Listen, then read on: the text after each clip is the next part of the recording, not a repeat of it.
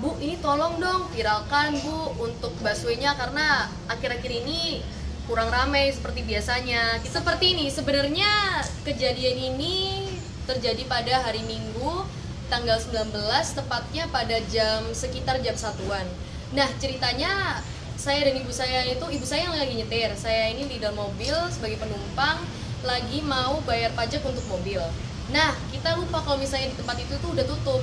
Waktu kita mau ke jalur kanan, itu udah tutup kan, jadi kita mau banting ke jalur kiri. Tapi di situ kita tergiring oleh mobil karena rame dan macet. Akhirnya kita nggak sengaja masuk ke busway.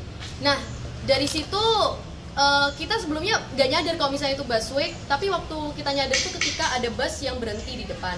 Kita akhirnya panik terus kita mau ke belakang tapi ada bus juga di situ kita turun berdua terus tanya sama bapak belakangnya pak mundur dong pak. Nah bapaknya bilang nggak bisa karena ini ada dua bus lagi di belakang terkoneksi gitu.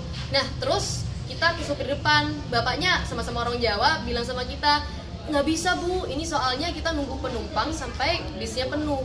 Nah di situ kita ngobrol lah sama bapak supirnya. Dia bilang Bu, ini tolong dong viralkan Bu untuk busway-nya karena akhir-akhir ini kurang ramai seperti biasanya. Kita mau viralkan lagi biar lebih ramai lagi dan banyak lebih banyak penumpangnya.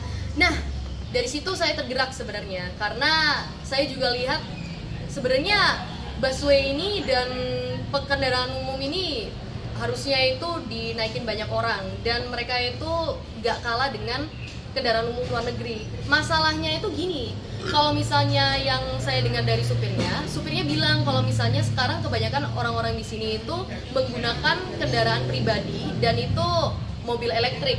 Jadi katanya mengurangi polusi dan juga menghindar ganjil genap. Tetapi itu menyebabkan macet.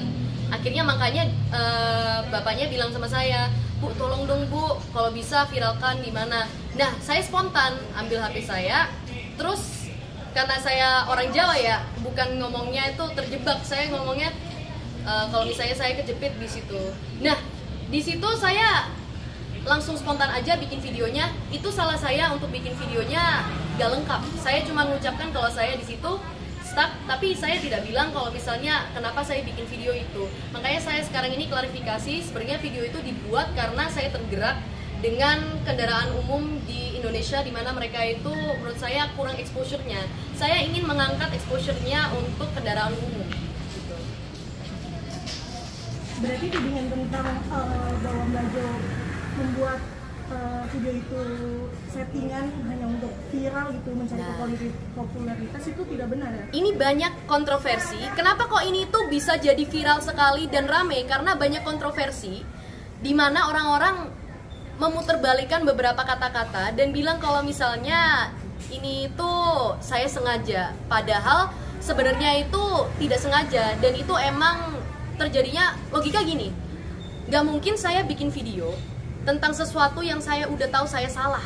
Tetapi ini tuh karena tergerak hati saya mendengar kalau misalnya eh, kendaraan umum itu sekarang tidak seramai dulu. Jadi saya mau ngangkat itu sebenarnya. Jadi kalau misalnya ada orang bilang yang saya eh, bawa mobil lain untuk bikin konten cuman untuk viewsnya doang itu salah. Karena sebenarnya saya juga nggak nyangka kalau misalnya ini bisa seviral itu.